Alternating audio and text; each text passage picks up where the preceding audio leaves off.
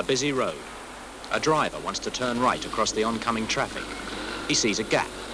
It seems to be enough.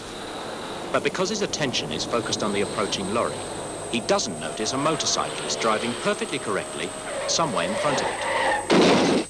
Look out for bikes when you turn right.